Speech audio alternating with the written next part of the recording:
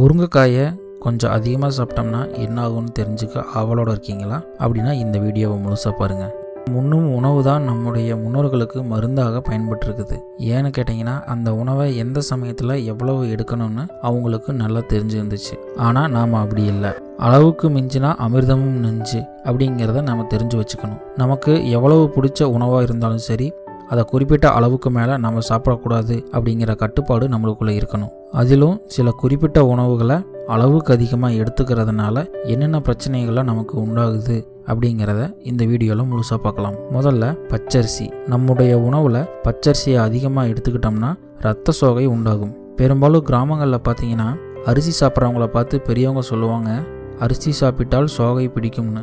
இது மிகவும் உண்மையான செய்தி.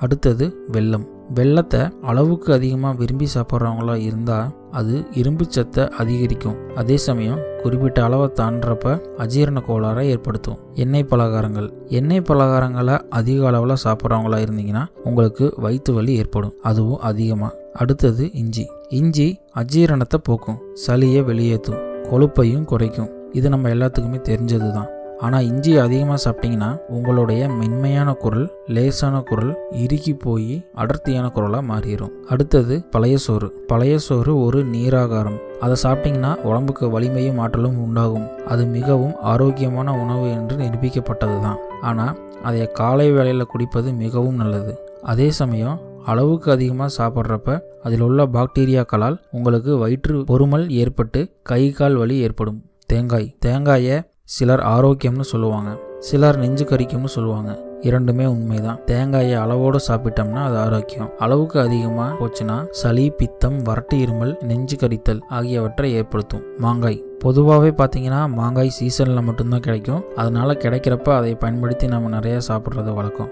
அது மட்டும் இல்லாமல் ஒரு சிலரை பார்த்தீங்கன்னா தங்களுடைய சமையலில் எல்லாத்துலேயுமே மாங்காயை சேர்த்துருவாங்க. ஆனால் மாங்காயை அதிகமாக சாப்பிட்டா வயிறு கட்டுற பிரச்சனை ஏற்படும். அது மட்டும் இல்லாமல் சளியும் அதிகமாகும். கூடவே இடுப்பு வலி உடல் பித்தமும் அதிகரிக்கும். கோதுமை. உடல் சூடு இருக்கிறவங்க கோதுமையை சாப்பிட்டோம்னா அது இன்னும் அதிகமாயிட்டே தான் போகும். வயிறு உப்புசமும் அதிகமாகும். குடலில் இரைச்சல் ஏற்படும் பித்தம் அதிகமாகும். பாதாம் பருப்பு. பாதாம் பருப்பில் அதிக அளவில் புரதச்சத்து நிறைந்திருப்பது நம்ம எல்லாத்துக்குமே தெரியும். அது பசியை கட்டுப்படுத்தி உடலுக்கு ஆற்றலை தரும். உடல் எடையை கட்டுக்குள் வைத்திருக்கும். அதுவே அதிகமாக பாதாமை சாப்பிட்ற பொழுது வாயின் சுவையானது மாறிவிடும் பித்தம் அதிகமாகிவிடும் வயிறு மந்தமும் கூடும். இப்போ பார்க்கலாம் முருங்கையை பற்றி அடுத்து முருங்கைக்காய். முருங்கைக்காயில் இரும்பு சத்து நிறைந்திருக்குது. அதுவே முத்திருச்சுன்னா அதோட விதையை மட்டும் தனியாக பிரித்து எடுத்து வெயிலில் நல்லா உலர்த்தி பொடி செஞ்சு அதை பாலில் கலந்து குடித்தோம்னா உடல் வலுப்பெறும். ஆனால் முத்தின முருங்கைக்காயை சாப்பிட்றதுனால வாயு தொல்லை அதிகமாகும். சளி இன்னும் அதிகமாகும். எருமைப்பால். எருமைப்பால் பார்த்தீங்கன்னாவே பசும்பாலை விட அதிகமான சுவையும் அடர்த்தியும் கொண்டது. ஆனால் எருமைப்பால் குடிச்சிங்கன்னா சிறுநீரகத்தில் கல் உண்டாகும். அதுவும் அதிகமாக குடித்தோம்னா கண்டிப்பாக ஏற்படும். மிளகு. உடல் வலு உள்ளவர்கள் மிளகை எடுத்துக்கலாம். அது உடம்புல இருக்கக்கூடிய தேவையற்ற கொழுப்புகளையும் கழிவுகளையும் எரிக்க செய்யும். உடம்புல அதிக சத்து இல்லாதவங்க மிளகை அதிகமாக சாப்பிட்டாங்கன்னா அதன் மூலயமா அவங்க உடம்புல வெப்பம் அதிகரிக்கும். மிளகாய். மிளகாய் உடம்புக்கு சூடுன்னு சொல்லுவாங்க. அதனால் மிளகாயை அதிகமாக சாப்பிட்டா உடலில் வெப்பம் அதிகரிக்கும். உடலில் சளித்தொல்லை அதிகரிக்கும். ஆண்களுக்கு விந்து நீர்த்து போகுதல் விந்து கெடும் என்பதையும் தெரிஞ்சுக்கோங்க. காஃபி. காஃபி குடிக்கிறது சுகம்தான். இருந்தாலும் காஃபி அதிகமாக குடித்தோம்னா பித்த அதிகரிக்கும். இதனால் கை கால் நடுங்கும் நரம்பு தளர்ச்சி ஏற்படும். கண்ணெரிச்சல் கூட அதிகமாகும். டீ அதாவது தேநீர். தேநீர் குடிக்கிறது உடம்புக்கு சுறுசுறுப்பை ஏற்படுத்தும்னு நினச்சாலும் கூட தேநீர் அதிகமாக குடித்தோம்னா உடம்புல நடுக்கம் அதிகமாகும். காய்ச்சல் வீக்கம் பசியின்மை இதெல்லாமே ஏற்படும். ஆண்களுக்கு விந்தினுடைய வீரியம் குறையும்.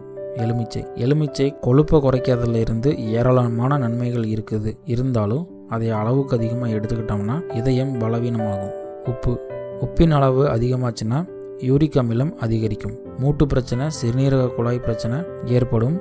உயிர் விந்தணுக்களும் குறைஞ்சிரும். வெங்காயம். வெங்காயத்தை அளவுக்கு அதிகமாக சாப்பிட்டிங்கன்னா தலைவலிக்கும். மந்தத்தன்மை உண்டாகும். சளி பெருக்கம் ஏற்படும். குங்கும்பூ. குங்கும்பூ வழக்கமாக நாம் மிகச்சிறிய அளவு தான் பயன்படுத்துவோம். ஆனாலும் தேவையற்ற சமயங்களில் அது அதிகமாக சாப்பிட்ற பொழுது புத்தி கூர்மையை சிதைக்கும். இரத்த சிவப்பு அணுக்களை குறைக்கும். அதனுடைய அளவு கொஞ்சமாக கூடினாலும் அழகு கூடுவதற்கு பதிலாக அழகு கெட ஆரம்பிக்கும். ரத்தம் வெளிரி போகும். வயிற்றில் இருக்கக்கூடிய குழந்தையினுடைய உடல் உறுப்புகள் கோணலாகவும் வாய்ப்பு இருக்கு. வெள்ளை பூண்டு. வாயு தொல்லையை போக்குற வெள்ளை பூண்டை அதிக அளவில் எடுத்துக்கிட்டோம்னா ரத்தத்தை வேகமாக பரவ செஞ்சு கொதிக்க வைக்கும். அது உயர் ரத்த அழுத்தத்தை ஏற்படுத்தும். பெண்களுக்கு வயிற்றில் கரு இருந்துச்சுன்னா அது அழியறதுக்கும் வாய்ப்பு இருக்குது குடலை எரிய செய்யும் ஆண்மை தன்மையை இழக்கச் செய்யும்.